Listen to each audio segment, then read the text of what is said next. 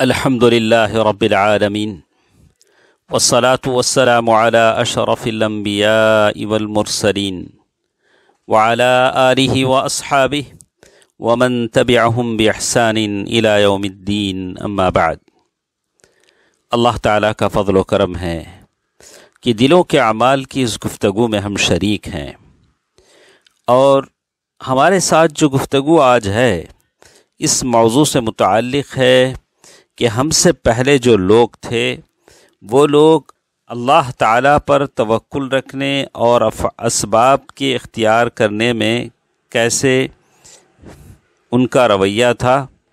تو اسی سے جڑی کچھ باتیں ہمارے ساتھ ہیں۔ امام احمد رحمہ اللہ سے کچھ لوگوں کے بارے میں پوچھا گیا کہ کچھ لوگ ایسے ہیں جو کوئی کام نہیں کرتے اور کہتے ہیں ہم تو بس اللہ پر بھروسہ کرنے والے ہیں، ہم تو کوئی کام نہیں کرتے ہیں۔ امام احمد بن حنبل رحمہ اللہ نے کہا کہ یہ لوگ تو مبتدعہ ہیں، یہ لوگ بدعتی لوگ ہیں۔ اور اسی طرح امام احمد بن حنبل رحمہ اللہ فرمایا کرتے تھے، لوگوں کے لیے اچھا یہی ہے، مناسب یہی ہے کہ وہ اللہ تعالیٰ پر بھروسہ کریں۔ لیکن کمائی ضرور کریں۔ لیکن جو شخص کہتا ہے کہ میں محنت نہیں کرتا، کمانا نہیں چاہتا، صرف اللہ پر بھروسہ کرنا چاہتا ہوں، تو وہ انسان احمق ہے، بیوقوف ہے۔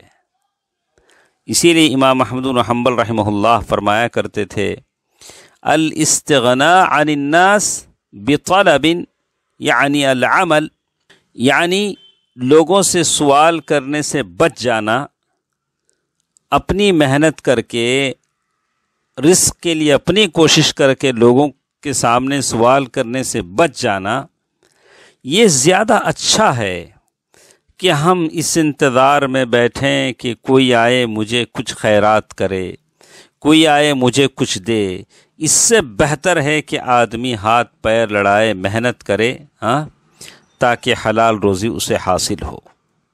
اسی لیے امام احمد بن حنبل رحمہ اللہ فرماتے ہیں، صدق التوکل علی اللہ، ان یتوکل علی اللہ۔ سچا توکل اللہ تعالیٰ پر یہ ہے کہ آدمی اللہ پر بھروسہ کرے۔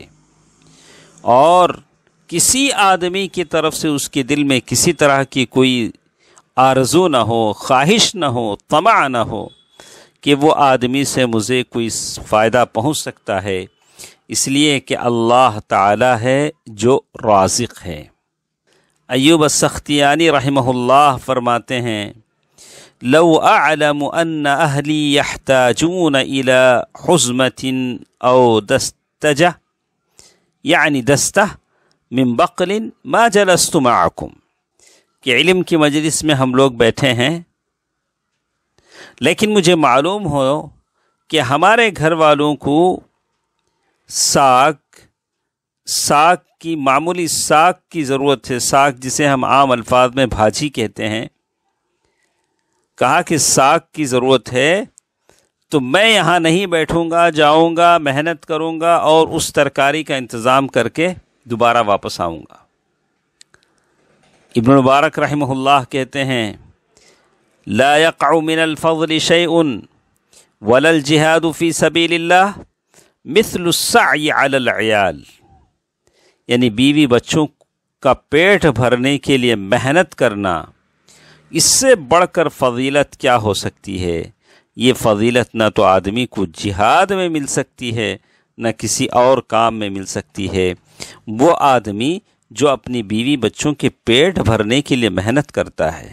دوستو، عزیزو، ماں اور بہنوں، یہ سعید بن المسیب ہیں۔